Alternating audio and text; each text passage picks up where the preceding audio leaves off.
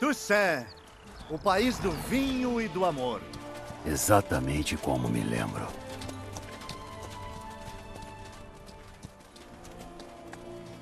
Você verá que Bouclair mudou um pouco nesses anos. Dê uma volta quando tiver a chance. Verá por si mesmo. Para mim, o lugar sempre pareceu ser coisa de um conto de fadas. Cavaleiros errantes, palácios élficos. Está insinuando que temos algo de estranho? Provarei que está errado. Isso eu juro pela garça.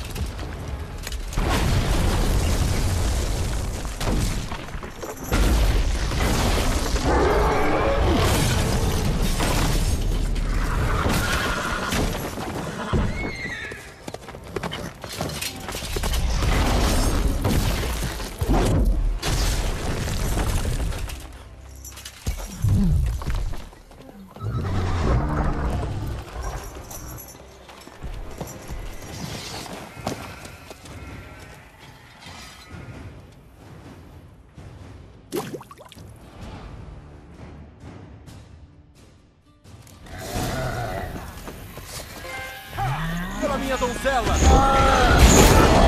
Jurei que mataria um monstro!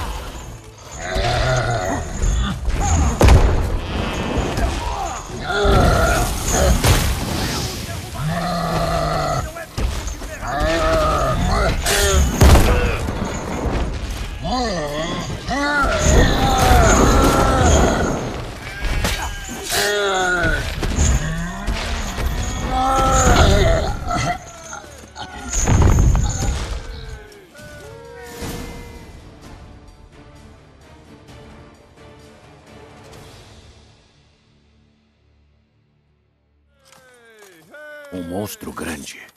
Enfrentando sozinho, pouco esperto. Nem o amor nasce da sabedoria, bruxo. Então, Guillaume, diga logo.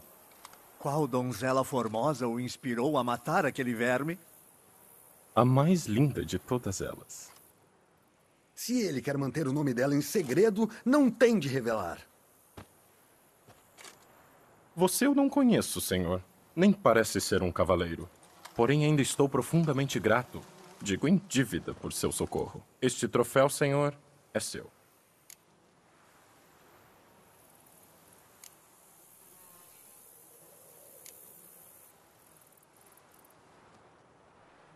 Eu fico com o troféu. Por que não? Talvez ache alguém disposto a pagar por ele. Você lutou bem contra o gigante. Tem experiência em lutas contra monstros? Nenhuma. Em Toussaint perseguimos mais bandidos. Mas prometi à dona do meu coração a cabeça de uma monstruosidade.